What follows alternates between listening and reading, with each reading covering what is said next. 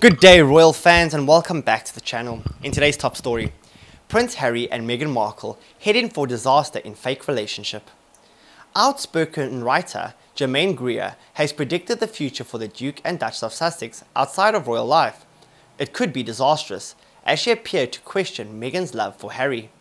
Greer criticized the couple's 2018 star-studded wedding for being full of showbiz personalities. The feminist author also suggested Harry may have fallen for Meghan because he was looking for a way out of royal life. Greer said, All I can think is she better be in love.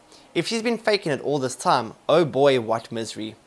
Referring to the couple's lavish wedding at St. George's Chapel in Windsor, attended by guests including Oprah and George and Amal Clooney, she said it gave the impression former actor Meghan lived in a completely artificial world.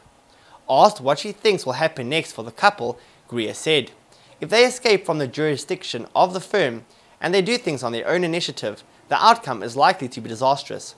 The Sussexes are living in Canada with their baby son Archie Mountbatten Windsor as they prepare to drop their HRH styles and quit the monarchy in favour of financial freedom.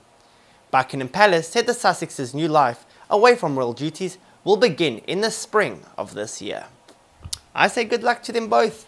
Alright guys, thank you for watching. That's all we have time for for today. Of course, please hit that like button if you enjoyed the video, leave your comments below, and don't forget to subscribe for more. I'll see you next time. Goodbye for now.